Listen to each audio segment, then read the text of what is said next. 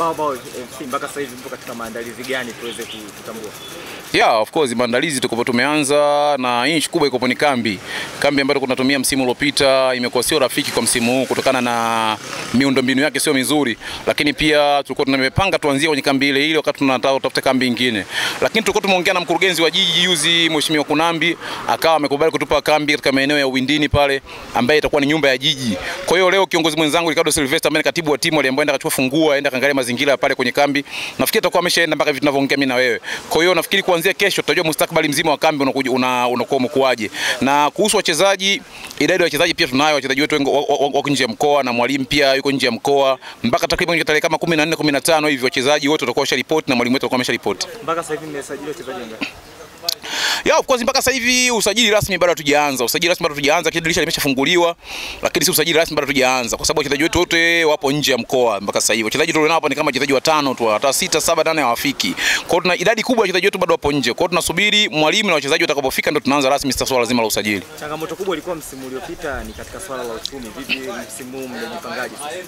Ya, unajua mpaka sasa hivi bado swala la uchumi linatusumbua na ndio maana umeona kabisa timu nyingi zimeshaanza kambi mpaka sasa hivi. Ruvuma Queens wapo kambini, Yanga wapo kambini, Simba wapo kambini, kasoro sisi tu. Kwa hiyo unakuta kabisa kwamba kinachotukwaza mpaka sasa hivi ni uchumi huo huo. Kwa hiyo ile swala mpaka sasa bado halijakaa sawa sawa. Na hiyo uchumi mpaka sasa hivi bado bado bado na tatizo la kifedha. Kwa hiyo ndio maana mpaka sasa tumechelewa kuanza usajili.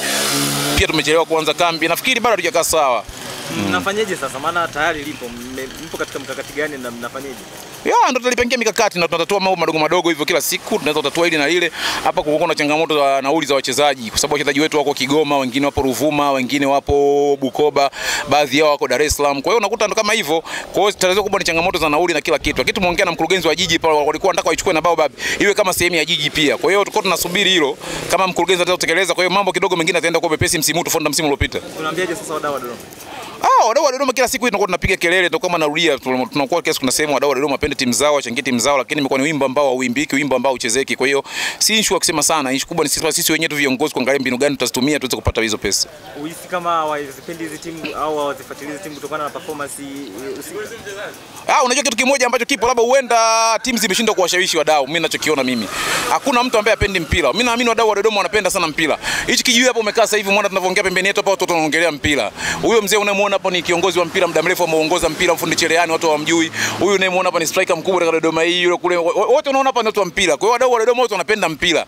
Isipokuwa mimi nafikiri timu bado hazijawashawishi wadau wa mpira wenyewe wa Dodoma kuzipenda timu zao. Nafikiri hamna mkoa ambao kwa unapenda mpira zamani kama Dodoma. Jamhuri iko inajaa sana. Kisa hivi jamhuri haijai, wadau hawaendi viwanjani. Nafikiri timu ndo zimeshindwa kuwashawishi wadau. Kama timu zitafanya vizuri wadau, mimi naamini wako tayari kuchangia kitu chochote ambacho walicho nacho.